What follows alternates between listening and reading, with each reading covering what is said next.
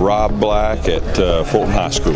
Been a busy summer. Uh, been real proud of our guys and how they've handled themselves uh, this summer. You know, our weight room attendance and off-season program's been really good, and been proud to see our guys uh, as we did our we did three or four maxes uh, since January, and to, to see our weight maxes go up tells me that our guys been working really hard. Well, you know, summertime we didn't really set a lot of a lot of goals. We just really we really talked about working hard and you know coming off of a state championship, you you have a target on your back. Everybody's gunning for you and you know I wanted our guys to understand and realize that and I think they they do, you know, and didn't want our guys to get complacent and feel like they had accomplished something because they did, but that was 2012, you know, and this is a whole new year, 2013. So real proud of the way our guys have worked.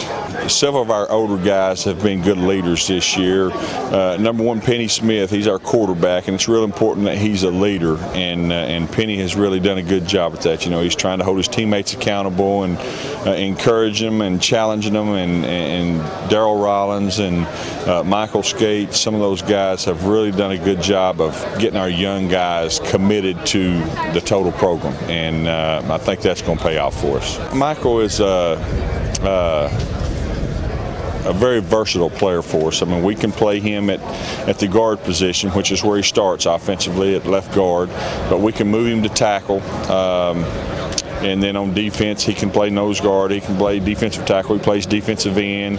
Just depends on who we're playing and what we're needing that week. And a lot of that's a tribute to him. I mean, he's a smart kid and he's able to learn the different schemes at the different positions. And I think that's going to help him future wise when he goes to college because guys get a chance to see him play a lot of different positions you know, we've got a lot of returners. We return seven starters on offense, seven starters on defense. Um, a lot of our skill guys coming back, so we're uh, we're really experienced in skill, and even have some uh, some backup guys in skill positions that have played a lot. So we feel like we've got a lot of experience there. We did lose a couple of offensive linemen uh, that we have to replace.